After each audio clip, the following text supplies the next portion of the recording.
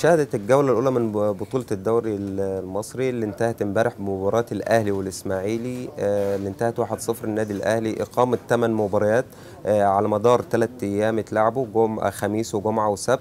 آه، اتلعبت في الجولة الأولى 8 مباريات. المباراة الوحيدة اللي ما اتلعبتش كانت مباراة الزمالك والإنتاج الحربي اللي اتأجلت بخصوص مشاركة نادي الزمالك في البطولة الأفريقية. شهدت الجولة دي واقعة طريفة كان بطلها حارس مرمى النصر للتعدين عندما ارتدى تيشيرت ناديه القديم نادي الأسيوط اللي بيشارك في الدوري الدرجة الثانية دي كانت واقعة طريفة تانية. كانت آه، نادي النصر للتعدين ما لقيش الكرات الخاصة بالمباراة.